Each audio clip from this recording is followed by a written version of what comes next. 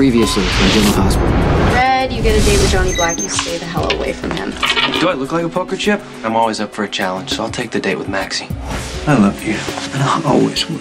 You and Carly will always be a part of each other's lives. But you're the one that I love. I do believe that we can have a wonderful life together. On the next General Hospital. So you're sleeping with Jerry Jacks? Dr. Scorpio can't take any calls right now. This is my hotel. Get out. Now! Will you please do something with your wife?